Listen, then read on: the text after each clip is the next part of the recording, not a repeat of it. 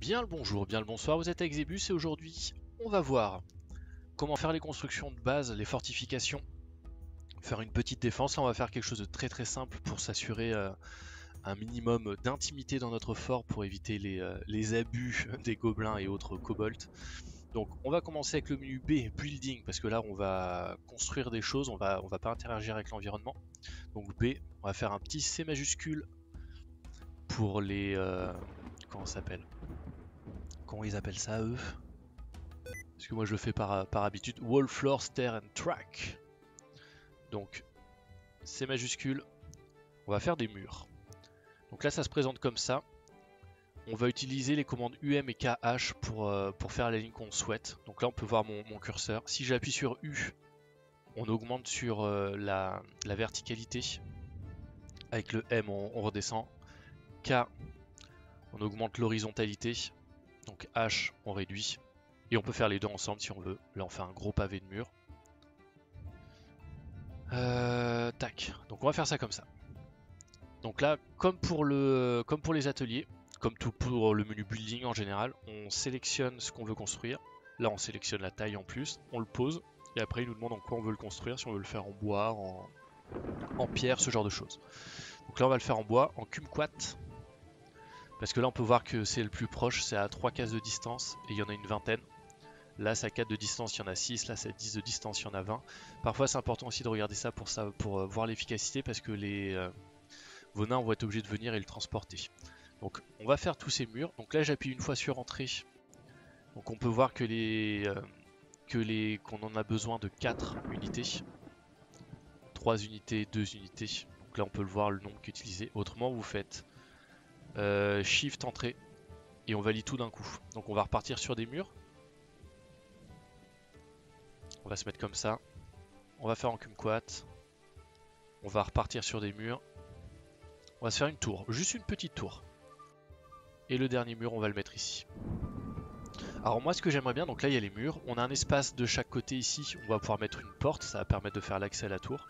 Mais ce que j'aimerais bien c'est que on soit capable de monter d'un niveau et qu'on soit capable d'avoir des petites fortifications. Comme ça au moins on pourra mettre des nains à l'étage s'il faut, des tireurs, et ils pourront tirer sur les gens qui seront autour de l'entrée. De, donc pour pouvoir monter d'un étage, il va falloir qu'on est capable d'avoir des escaliers qui sortent du sol, qui montent et pour avoir ces escaliers là, on peut pas les, on va pas pouvoir utiliser la commande D parce qu'on peut, va pas les creuser dans l'air, hein, ça marche pas. Il va falloir qu'on les fabrique de toutes pièces pour pouvoir monter. Donc c'est toujours la commande B, C majuscule, et là on va faire U comme upstairs. Et là on est bon. Pareil, on choisit le bois. Donc là on peut voir qu'on a demandé tout ça. Par exemple, si jamais vous vouliez faire des escaliers, si jamais vous faites des escaliers ici, ça va être la commande D. Si vous voulez faire des escaliers au plein milieu de votre... Euh, et de monter, j'entends. Et si vous faites des escaliers en plein milieu de votre dortoir, ça sera la commande B, C majuscule, U pour upstairs. Parce que là, en fait, on va être obligé de créer les escaliers pour aller dans une couche à creuser. Là, on va creuser directement pour aller dans une couche à creuser. Donc c'est vraiment ça la différence entre D et B. Parfois quand on est un petit peu bloqué, on ne sait pas comment faire pour faire ce genre d'escalier, c'est ce genre de petits, euh, de petits tricks. Et là ce qu'on va faire en plus, donc là on va demander de creuser à nos nains autour. Donc on va les faire creuser comme ça.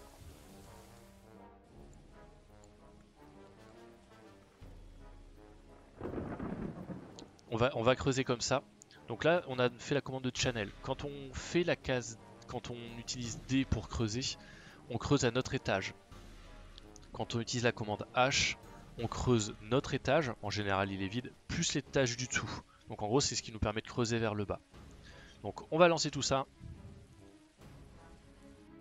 Donc là les nains vont venir installer tout ça, on a nos mineurs qui vont venir faire leur taf. D'ailleurs on va continuer, on va faire ça ici aussi.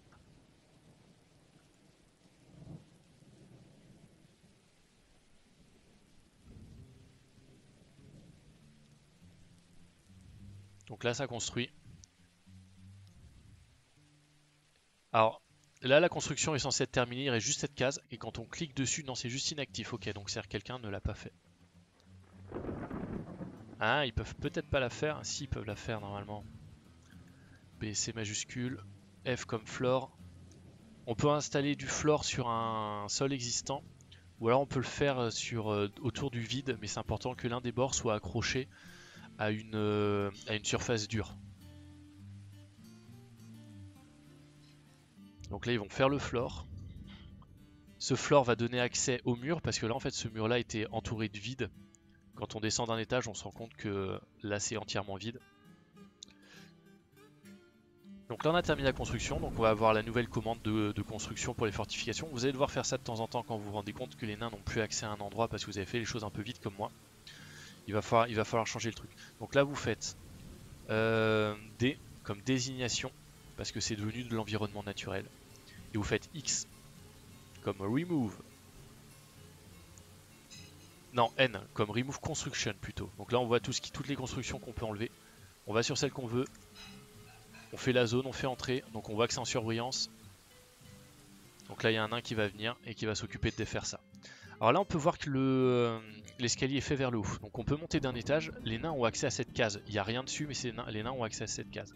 Donc ce qu'on va faire, c'est qu'on va demander à nos nains B C majuscule, X pour up and down. Donc on va faire un escalier juste là. De toute façon, on peut voir qu'on peut rien construire.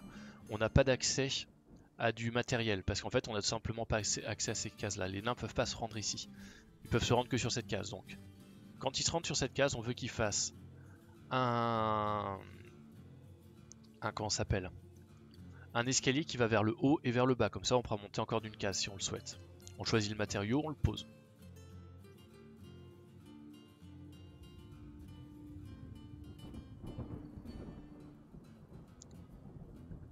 Et dans les fortifications de base, on a quelques portes. On a trois portes, on va mettre les portes ici. Dans les fortifications de base, il y a toujours un pont-levis. Donc là, ce qu'on va faire, c'est BG pour tous les noms, pour tous les ponts. On va choisir la taille de notre pont. On va faire 3. On peut faire la taille qu'on veut, hein. on peut faire des ponts qui sont vraiment immenses. Euh, là, on va en faire que de une case. Et là, on peut voir que ce pont, il va se rétracter. Donc quand il est, euh, quand il est actif, il va faire une case de long. Par contre, quand il va être activé, il fera zéro case. Il va être complètement rétracté. Après, vous pouvez décider de faire des ponts qui se lèvent vers le haut, vers le bas, ce genre de choses. Et là, on peut voir qu'on ne peut pas faire le vers le haut parce que la base du pont, donc en gros là, si jamais on fait ce pont-levis là, quand il est actif, donc quand il est, euh, abaissé, il fait trois cases de long. Par contre, quand il va être levé, il va faire plus qu'une case de long. Alors quelque chose qu'il faut savoir sur les ponts-levis avec Dwarf Fortress, c'est qu'il fera pas trois cases de haut. Il fera qu'une case de haut quand il sera relevé, mais il fera qu'une case au sol.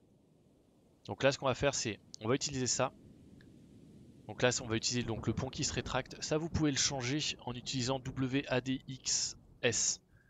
Tout ça, c'est ce qui va vous permettre de, euh, de choisir la, de quel côté il se relève il se relève. En fait, la flèche indique toujours le côté de quand il va être relevé, où est-ce que va être la base.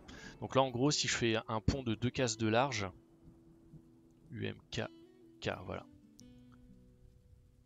Si on fait un pont de deux cases de long, on va le faire dans le vide pour que vous voyez. La flèche indique toujours le côté de la base qu'il faut qu'il soit ancré. Comme ça, en fait, quand le pont va être relevé, ça va être les, euh, les tiles de droite, donc les cases de droite qui resteront.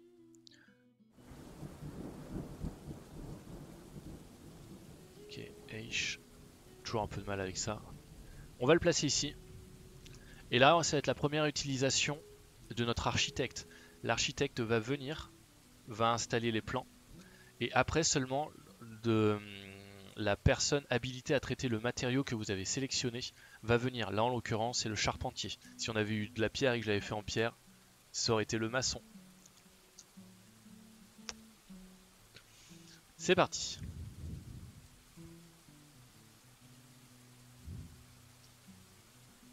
Donc on laisse les nains le faire. Là on peut voir que donc il y a notre manager. C'est lui notre architecte, hein, c'est notre marchand. Et qu'est-ce qu'il fait? Alors eux, ils ont plus de boulot, on va leur en trouver assez rapidement. L'expédition leader, il est en train de, faire ça. Donc ça c'est le problème, c'est toujours la liste des priorités. Parfois on veut qu'une tâche soit faite immédiatement, mais la personne qui a euh, le job actif est en train de faire autre chose. Donc lui il est en train de boire, et les deux nains s'ennuient. Donc voilà comment on fait les, euh, bases de la fortification. Donc là, le euh, comment s'appelle? L'escalier est fait, donc on a, on a accès à l'étage, aux cases adjacentes à l'étage, à l'escalier. Donc on va faire B, C majuscule, on va faire du sol. Donc on fait le sol, F pour floor bien sûr, U pour faire des, euh, ce qu'il faut. Donc là en gros l'escalier, quoi le, le, sol va s'appuyer sur l'escalier pour pouvoir se répandre. Et vu qu'on a fait des blocs en dessous, il va aussi faire les blocs. Hop là, là on est bon. Donc on va leur demander de faire ça. Et une fois qu'ils auront fait ça, on aura accès au mur.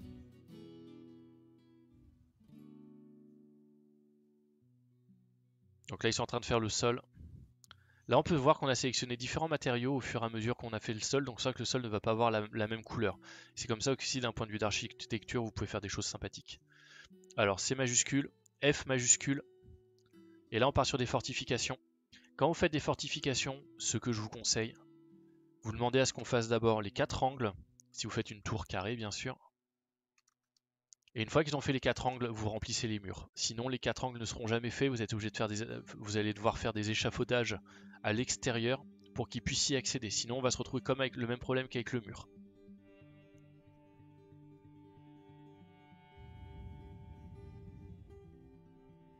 Donc là, on a fait les quatre fortifications sur les bords. B, C majuscule. On continue avec F majuscule.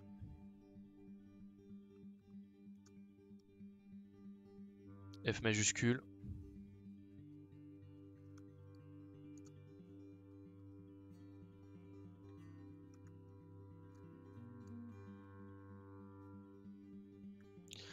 Donc là on a demandé toutes les fortifications.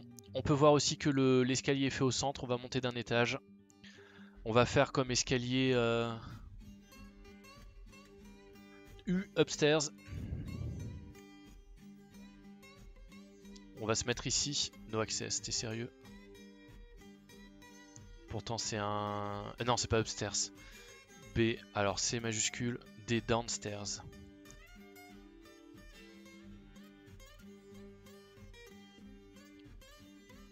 On va le faire ici.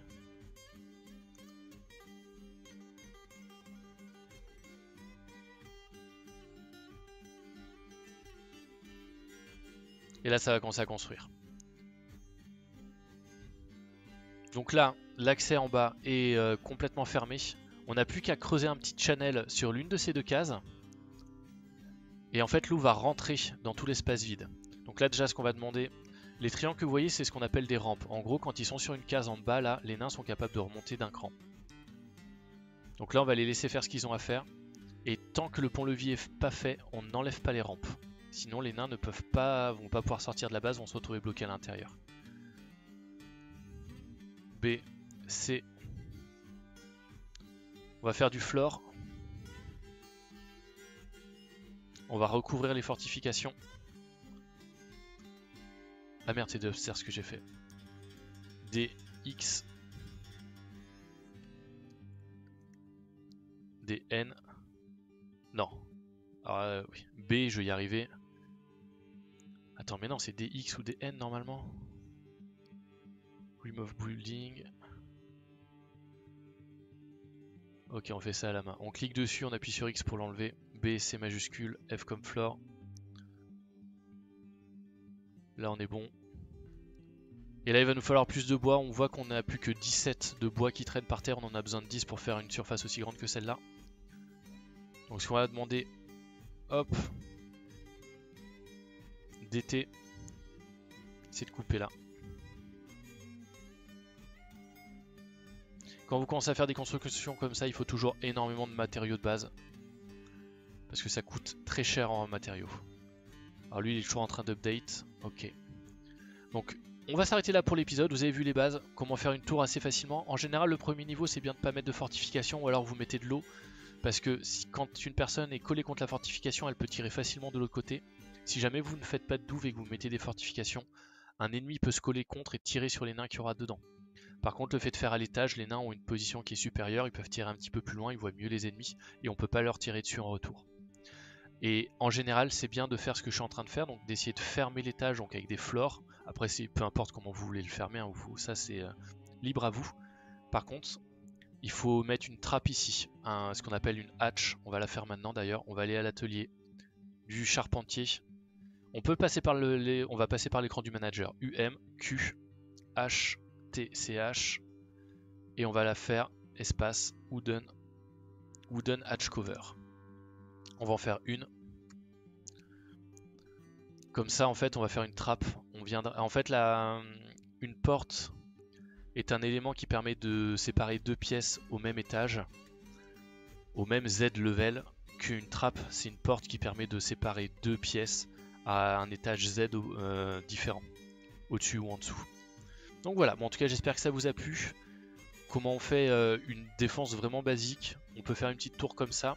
En plus l'avantage c'est que si vous faites ce genre de tour, vous pouvez virer les portes et faire un accès à des tours que vous pouvez disséminer sur la carte que depuis votre forteresse, en gros que vos nains aient accès à l'extérieur.